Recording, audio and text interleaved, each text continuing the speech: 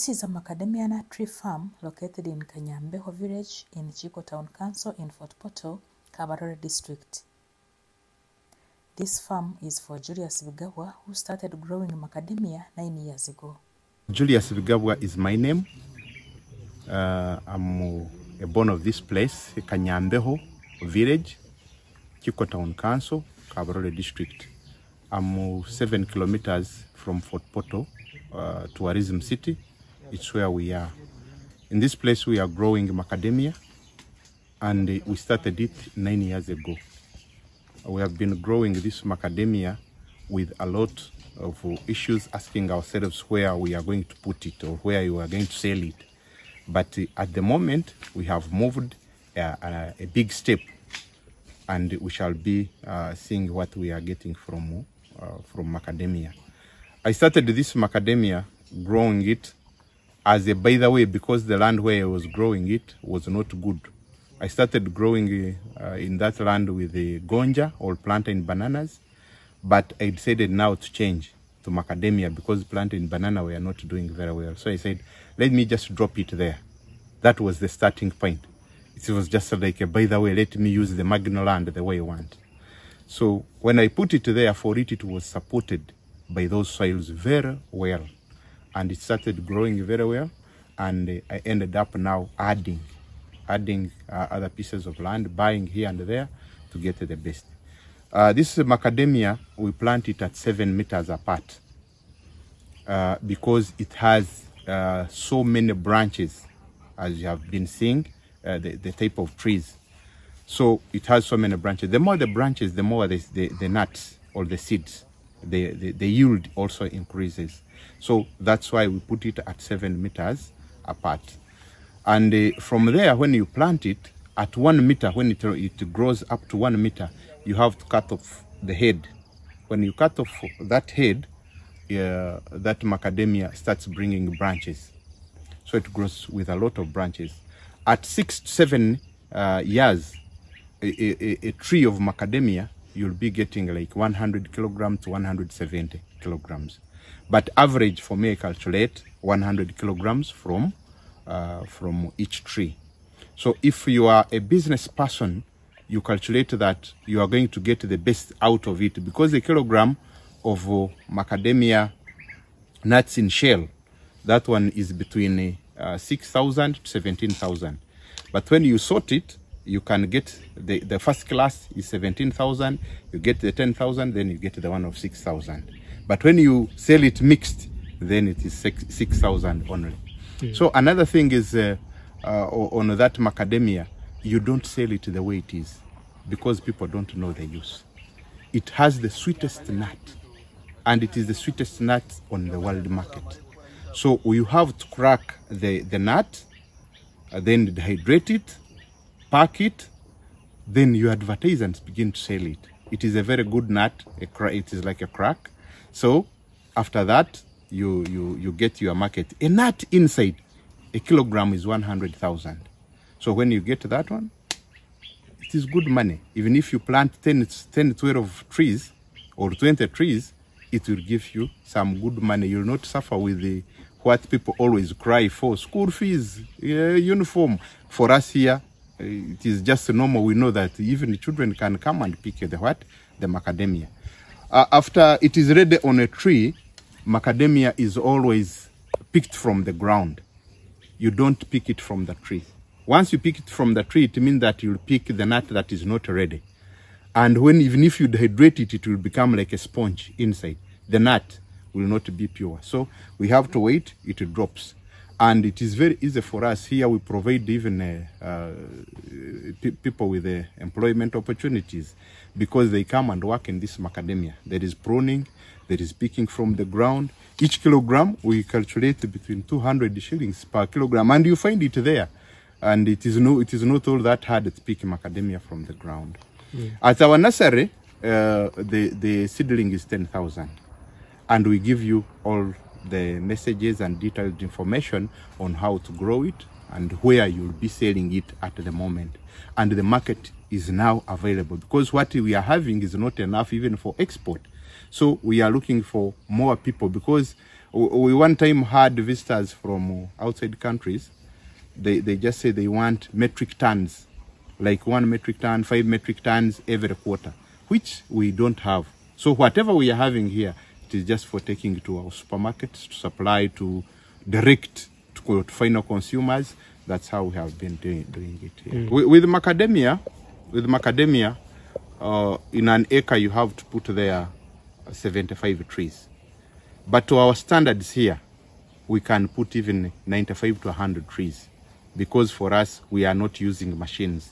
In developed countries, they use machines because uh, it helps them in harvesting, in tendering, in pruning, and what.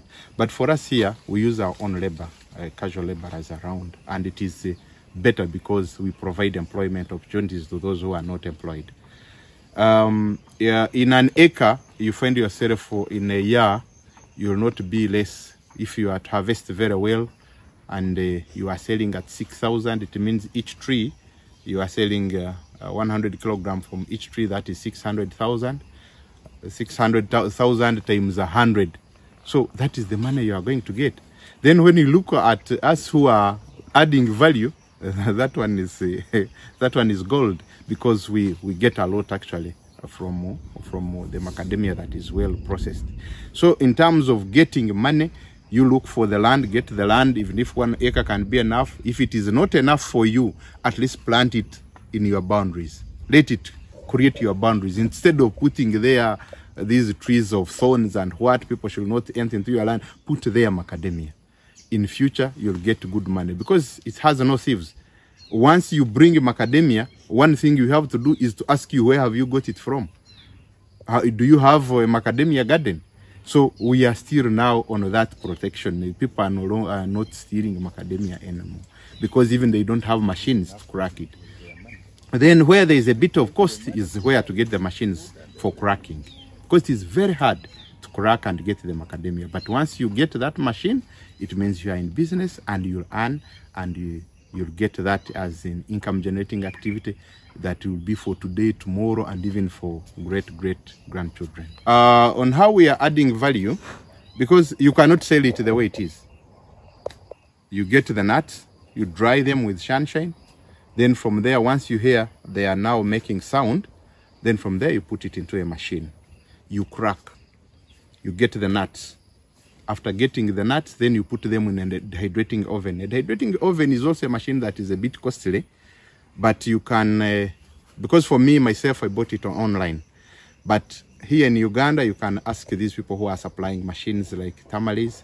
Those ones can try for you to get it from the countries like Netherlands. You can get it from uh, Russia, uh, from uh, Korea. Those ones are supplying such machines. But once now you put it into the machine, you dehydrate, you get the nuts. After getting the dried nuts, they look like chocolate in color, as if they are roasted, but they are just dehydrated. Dehydrating, I mean, you just remove water from them and they dry completely. So from there, you look now for the packaging. The packaging, you also have to be supplied with better packagings because these nuts are going to big supermarkets. They are expensive and they go to big people. So which means that you have to pack here using the best material that will, will not be doubted. So from there, you look for the branding. You also put it there. Once when you are in value addition, make sure the address is proper, physical address where you are, where you are getting macadamia nuts from, how you are growing them. So that information alone gives you a proper market and somebody will not doubt you. In case of anything, that person will contact you directly. Mr. So and so, you have supplied macadamia, have eaten, here is your address. There is a problem of this and that. Maybe it made me uh, feel stomachache. At least there, you are now free. You feel free and you produce something that is hygienically uh, marketable uh, the, to, to, to our final consumers. So it will not be uh, doubted at all. Many people have benefited, not only from this, actually the whole of this country, Uganda. People have reached here, here and the, because the others come from north, western Nile, Jinja side, central, all over Western here, people come here to learn about macadamia. That is the first part, and they have learned and they have taken some seeds or seedlings to plant.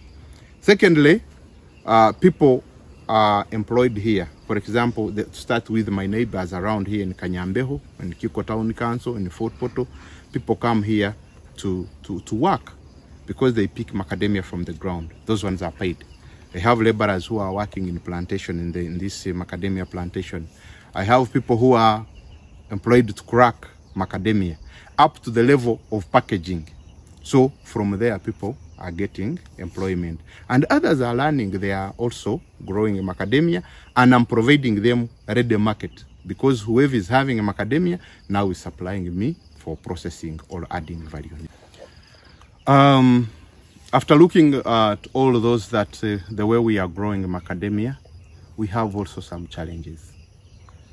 Uh, challenges are in terms of uh, availability of land because when we want to expand, land is very expensive and it needs a lot of supervision when you are growing these types of macadamia or these types of, of plants.